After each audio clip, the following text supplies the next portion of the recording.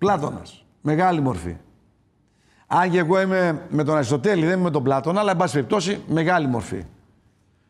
Πίσω από το όνομα λοιπόν του Πλάτωνα, δεν είναι το πραγματικό το όνομα, κρυβόταν ένας Πλάτωνας. Ο Πλάτωνας γεννημένος στην Αθήνα γύρω στο 427, δάσκαλος του Αριστοτέλη, έτσι, να μην ξεχνιόμαστε, είναι διάσημος για τη συμβολή του στη φιλοσοφία, την ηθική και τη θεμελίωση της δυτικής σκέψης. Ας πούμε, διαβάστε το σπήλαιο, θα σας βοηθήσει. Αν δείτε λίγο το σπήλαιο, προσυδειάζει βέβαια, λίγο όχι πολύ, με την κόλαση του Δάντη, σε επίπεδο ε, ευρύτερη σκέψης και αντίληψης για πεπραγμένα που δεν φανταζόμαστε. Αλλά καλό να διαβάσετε Πλάτωνα.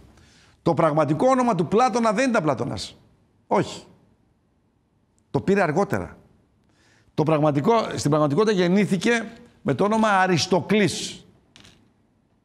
Κλέος Άριστος. Όνομα, ε, Αριστοκλής. Τώρα, αν δείτε κάποιον, γελάει, ε, βαρε. Δύο λέξεις έχει μέσα. Το κλέος και το άριστο. Έτσι. Το άριστο κλέος. Πάντα τα ονόματα στην αρχαία Ελλάδα κάτι σήμαιναν. Δεν ήταν τυχαία. Αριστοτέλης. Έτσι, ξέρουμε τι λέμε. Επικουρός. Δεν ήταν απλά ονόματα. Ο Πλάτωνας λοιπόν, ενώ μεγάλωσε με το όνομα Αριστοκλής, στην πορεία του άλλαξε το όνομα.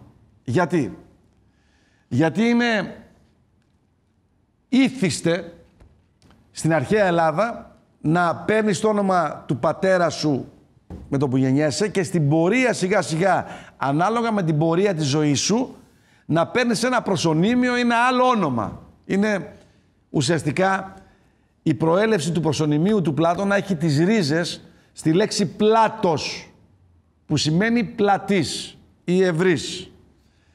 Ο Πλάτωνας ήταν ένας ογκόληθος. Ήταν τεράστιος, δηλαδή ήταν πλατής, ήταν γομάρι που λέμε. Ήταν δυνατός, πολύ δυνατός. Δεν ήταν μόνο φιλόσοφος. Σας έχω πει ότι και ο Σοκράτης ήταν πρωταθλητής στο Παγκράτιο. Δίδασκε πολεμικές τέχνες. Το όνομα όπως είναι φυσικό αντικατοπτρίζει την εμφάνιση του Πλάτωνα. Γιατί ο Πλάτωνας είχε και φαρδισόμους, αλλά είχε και πλατή μέτωπο. Από εκεί λοιπόν ε, και στέρνοπλατή, ήταν δηλαδή ντουλάπα. Οπότε με ντουλάπα, βλέπετε κάτι ταινίες με κάτι ντουλάπες, ανθρώπους που είναι γεροδομένοι, έτσι ήταν και ο Πλάτωνας. Όταν έγινε λοιπόν μαθητής και μάλιστα η μετάβαση του, ονο, του ονόματος Πλάτωνα σε Αριστοκλής δεν ήταν μόνο αισθητική, όχι, όχι, όχι. όχι. Ε, η κοσμοθεωρία του Πλάτωνα άρχισε να διευρύνεται. Έγινε μαθητής του Σοκράτη. Άρχισε λοιπόν να διευρύνει τις γνώσεις του. Το προσωνύμιο Πλάτων και επειδή μεταμορφώθηκε στο εξωτερικό του σημείο, από μικρό παιδί έγινε πιο δυνατός, έπρεπε να του αλλάξουν το όνομα. Θεώρησε δηλαδή ότι έπρεπε να πάρει ένα όνομα που προσυδειάζει με την εμφάνισή του, αλλά και με την ευρημάθειά του, το πλάτος των γνώσεων. Δηλαδή ουσιαστικά, για να καταλάβετε, σηματοδοτούσε τη διεύρυνση προοπτικής του. Ότι διευρύνθηκε η προοπτική των γνώσεών του, μεγάλωσε το, το, το εύρος των γνώσεών του, των πνευματικών αναζητήσεων του σε πλάτος. Δηλαδή έγινε μια, αυτό που λέμε ρε παιδί μου, μεταμόρφωση του ιδίου σε εξωτερική μορφή και εσωτερική. Α, το όνομα Πλάτων το έδωσε ουσιαστικά η ίδια του εμπειρία στη ζωή, η ίδια συμπεριφορά του και εξωτερική εμφάνιση, αλλά και η ψυχή του. Αυτά για να ξέρετε πώς οι αρχαίοι πρόγονοί μας ονομαζόταν και πώς ήταν ονομοσονίμια. Δεν είναι τυχαία τι Αλεξάνδρος. Τι σημαίνει Αλέξανδρος. Αλέξ Ανδρός. Αυτός που αποθεί, Αλεξικέραυνο λέμε.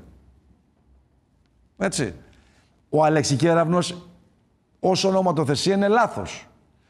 Ο Αλεξικέραυνος προσελκύει τους κεραυνούς. Βέβαια, τους προσελκύει και τους εξωστρακίζει αλλού, όχι στο σπίτι. Τους αποθεί δηλαδή. Γι' αυτό και λέγεται Αλεξικέραυνος. Για να, ξε, να ξεχωρίσουμε. Και θέλω να καταλάβετε ότι τα ονόματα δεν ήταν τυχαία. Τα έδιναν για συγκεκριμένους λόγους. Κάτι σήμαιναν. Δεν το έλεγαν απλά έτσι οι άνθρωποι το όνομα.